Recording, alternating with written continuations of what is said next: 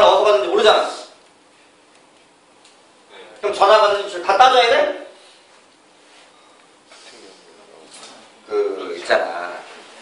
이건 내가 던지는 이 말은 내 생각을 나 스스로 한 질문을 니한테 던지는 거야 내가. 내가 문제 읽으면서. 그런 생각 내가 하거든. 그러면 전화 받는 위치별로 다, 그러니까 전화 받는 위치 중요한 게 아니지만 결국 길이 가서 가보면 똑같다 그 말 아니야. 그럼 전화는 어디서 따라서 찾아보래 달라지겠네. 아니 가다 보니까 얘가 이렇게 가다가 여기 전화 받았어. 이렇게 가는 거구나. 어, 이거 아닌가? 같단 말이?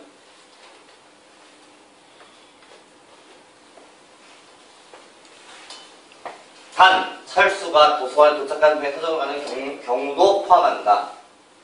아, 도서관에 갔다 올 수도 있는 거야?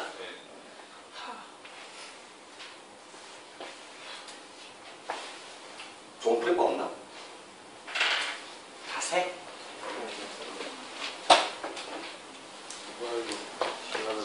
심란해? 막 쓰진 않아? 막 쓰진 않고 그러면 다 틀려서 세 전화 받는 되게 많다 어, 굳이 굳이 다 해야 되겠네? 직접 봐봐요. 아 직접 가봐 네가 그럼 내가 가 그럼 일단 전화 한 번씩 해 한 번씩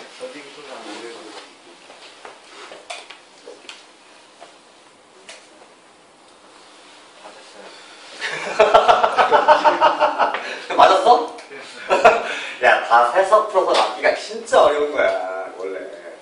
어? 야, 근데 가다가 돌아가야 되는 거잖아, 그치? 그러니까 다안 갈 수도 있는 거고, 지금. 위로 한칸 갈때 케이스랑 두칸갈때 케이스랑 세칸갈 때 케이스랑. 그, 그, 그. 진짜 맛있게. 야, 그렇게 생각하면 네가 결국 다 잘라 풀겠다는 얘기잖아. 근데, 그, 만약에 이럴 수도 있는 거야. 이렇게 올라갔다 해서 전화 여기서 받았어. 근데 저건 해야 응? 그 내가 질문하면 가야 되지 않냐? 어? 내가 이렇게 올라가다가 전화 여기서 받았어. 이렇게도 괜찮은 거야? 괜찮죠? 괜찮지. 갔던 길또 가도 돼? 네. 그럼 문제 없는 거잖아.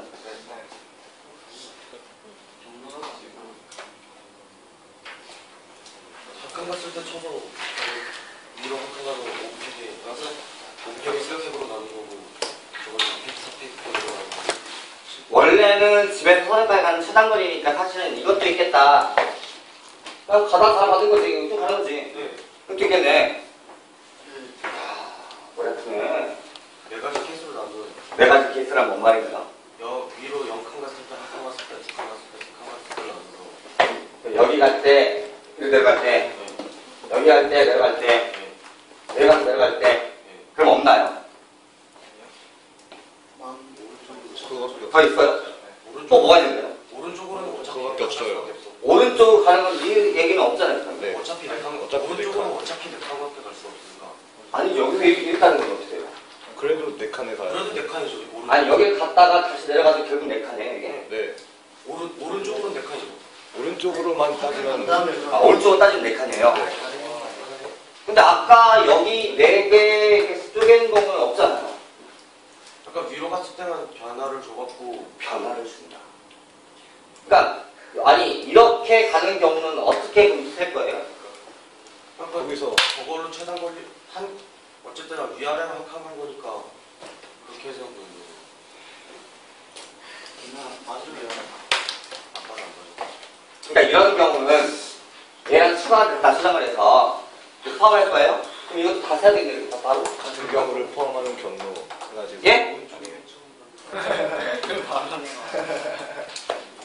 그렇잖아요. 저거 다 따로 세야 되잖아요. 그럴 바에는 뭐 네 칸만에 갔을 때, 여섯 칸에 갔을 때, 여덟 칸에 갔을 때 세겠다. 어차피 얘가 추단거리면 네 칸이거든요. 가장 만만한 게 그냥 세겠다고 생각하면 나, 나 같으면 네 칸만 다 갔을 때 다섯 칸만 절대 못 가요. 그죠? 그죠? 여섯 칸에 갈 때, 네 칸 갈 때, 여섯 칸 갈 때, 여덟 칸, 열 칸.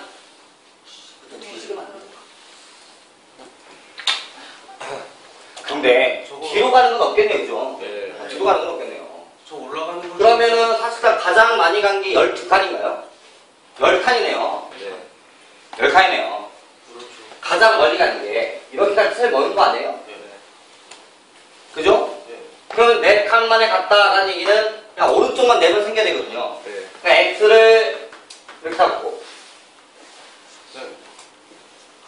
wait wait wait 카메라에 관계 없어. 거야? 오케이? 올라가는 걸 x, y 내려가는 걸 z 네. 그럼 네 칸이면 x만 네 개를 나열해야 됩니다. 여섯 칸에 가려면 x가 네개 있고요. y는 하나, z도 하나 있어야 돼요. 네. 여덟 칸이면 x가 네 개, y도 두 개, z도 두개 나열해야 되거든. 그럼 근데 또 문제가 있어 이게. 위로 먼저 갔다가 밑으로 네. 내려가야 돼. 만약에 이게 이걸 나열하다가 y가 먼저 등장하면 안 돼요. 아 y는 z. 네개 중에 네개 뽑으 네개 중에 두개 뽑으면은 앞에 나온 거를 무조건 Y를 주고 뒤에 나온 걸 무조건 Z를 주고 그렇죠 그렇게 해야 돼. 그냥 여기를 이렇게 생각하면 안 될 것 같아서. 아예 그냥 똑같은 걸로 어떤 y라고 놓고 그냥 나중에 경우를 줘야 될것 같아. 몇 표시를 하면 안 돼. 왜냐면 지가 하려고 안 되거든. 우선 쓰고 얘는 x가 4개에다가 y가 6개가 되는 거지. 그지? 네. 그럼 이런 상황이 벌어지겠다. 만약 이 표현을 했더니 y, y, x, x, y, y, x, x 나왔어. 그럼 길을 어떻게 가야 돼? 위로 먼저 두번 올라가. 요 y는 무조건 위. 위로 가나요? 네. 그럼 이, 이 y가 내려가는 거예요? 올라가는 거예요? 올라가. 뭐 어떻게 알아요?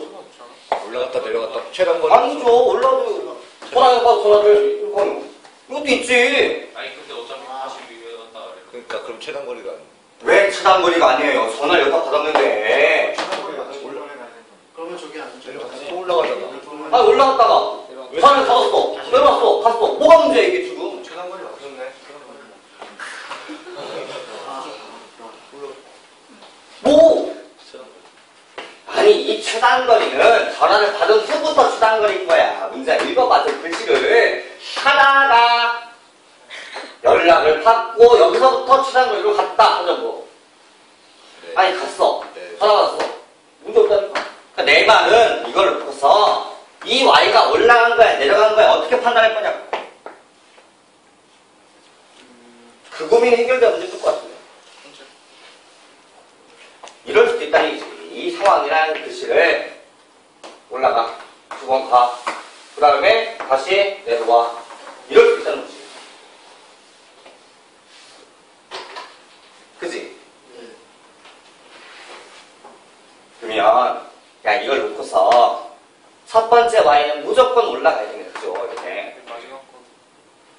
아니, 첫 번째 생기는 y는 무조건 올라가야 돼요. 네. 내말 이해돼요? 네. y가 4개가 생기면 무조건 첫 번째 y는 올라가야 됩니다.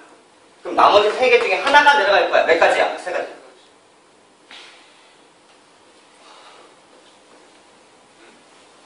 그거 안 되잖아요. 하나가 안 얘가, 또 내려서 얘가 또 내려서 얘가 건 무조건 내려가. 앞에 두 개는 올라가야 되네. 아니지. 얘가 올라가. 이럴 수도 있지. 그러면은 아, 그럼 서점으로 가는 게- 아, 그럼 네, 거리 아니에요. 그 최단은 빼지. 그럼 이럴 수 없네. 그럼 이런 상황이면 앞에 거, 그러니까 그럼 앞에 거 무조건 올라가야 되겠네. 네. 되게 무조건 내려가야 되고. 그럼 나이랑 대략 그냥 이제부터는 해결된 건가? 최단거리란 말 때문에? 그럼 얘는 한 가지 얘는 600에 400에 100 얼마야 이게? 15. 800에 400, 400 70. 얼마? 70. 맞는 거지? 네. 10팩에 400, 600 210. 210 210? 다 더하면